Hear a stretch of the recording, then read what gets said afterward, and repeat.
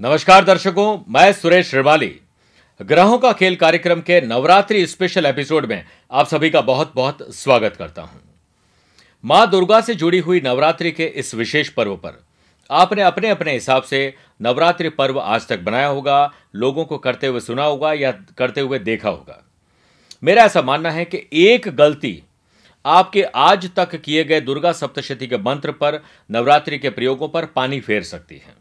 ये क्या है? यह आज आपको बता देता हूँ। भक्ति में शक्ति है और भक्त की भावना ही सबसे अधिक महत्व रखती है। लेकिन माँ के नवरात्रि में आपकी भावनाओं की शुद्धि के साथ साथ पूर्ण विधि विधान से पूजा आवश्यक, पूजा विधान करना परम आवश्यक होता है।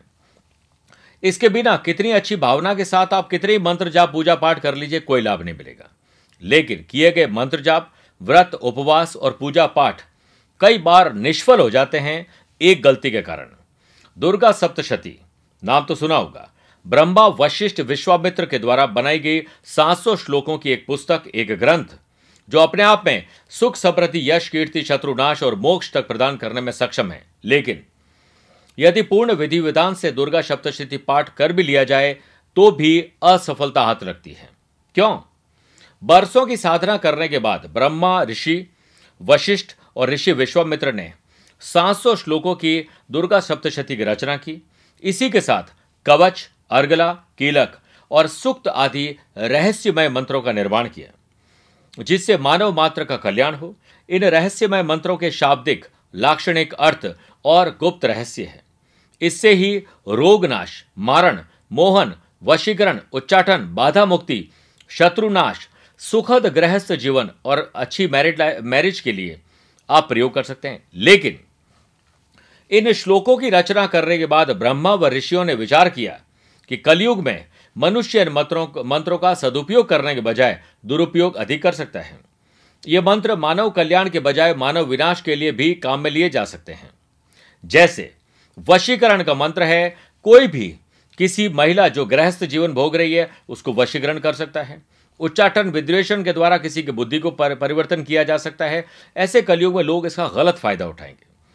तब ब्रह्मा जी और दोनों ऋषियों ने ऐसा सोचकर मंत्रों को समाप्त करने के लिए हाथ में जल लेकर संकल्प लिया कि अब इनका उपयोग संभव नहीं होगा और उसे श्राप दे दिया पुस्तक को। अब तब ही वहाँ नारद जी आ पहुँचे और ऋषियों से आग्रह किया कि इतनी मेहनत से तैयार इन मंत्रों को नष्ट न करें। हाँ लोग कलयुग में धन कमाने की लालसा, पर स्त्री गमन, मारण मोहन, उच्चारण उच्चाटन के प्रयोगों से इसका दुरुपयोग कर सकते हैं। लेकिन इसका सदुपयोग करने वाले लोगों का क्या होगा? जो सुखद परिवर्तन ला सकते हैं। जैसे, मैं अपने आलस्य को मारना चाहता हूँ, प्रयोग कर रहा हूँ। दुकान नहीं चल रही है, ग्राहक का वशीकरण करना चाहता हूँ क्या बुरा है? इस पर ऋषियों ने हाथ में लिया हुआ जल छोड़ दिया और फिर बीस मंत्रों का एक सापोद्धार का एक तरीका निकला। यह विमोचन मंत्र है, जिसे सापोतार के नाम से हम जानते हैं। आप भी नवरात्रि में दुर्गा सप्तशती का पाठ करते हैं। इसके लिए अवश्य ध्यान रखें कि पाठ या दुर्गा सप्तशती का करने पूर्ण पालन करने से पूर्व इस पाठ को जो बीस सापोदार के मंत्र हैं, इनको पढ़ने के बाद आप दुर्गा सप्तशती, अर्घ्य किलक और संकल्प और दुर्गा सप्तशती की विशेष पूजन और प्रयोग कर सकते हैं। मैं आपको इन मंत्रों का उपयोग किसी के अहित या किसी के नुकसान के लिए नहीं करूँगा, यह भी आपको इसके लिए संकल्प लेना पड़ेगा। मेरी मनोकामनाओं को माँ दुर्गा पूर्ण करे, तब ही सापोद्धार पढ़, मंत्र पढ़ने के बाद दुर्गा सप्तशी का पाठ करने से लाभ मिलता है।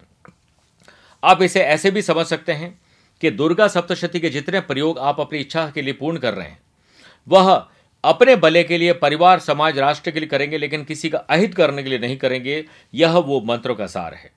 इसे आपको जो यूट्यूब का जो लिंक है, जो अंदर डिस्क्रिप्शन आता है, उसमें हम इसे दे रहे हैं ताकि आप इसे प्राप्त कर सकते हैं। ईमेल से व्हाट्सएप से भी जोधपुर कार्यालय में संपर्क करके इन 20 मंत्रों को, श्लोकों को आप प्राप्त कर सकते हैं। तो अब आपको समझ में आया होगा, आज तक आपने इन श्लोकों को नहीं पढ़ा है, लेकिन दुर्गा सप्तशती और बहुत सारी पूजा पाठ की लेकिन वो सफल नहीं हो पाए हैं तो अब सफलता आपके कदम चूमेगी। माँ दुर्गा से प्रार्थना करता हूँ कि आपके हर बुराद को पूरा करे और अपनी ज़ुबान को यहीं विराम देने के लिए आप सभी से आज्ञा चाहता हूँ, प्यार भरा नमस्कार और बहुत बहुत आशीर्वाद।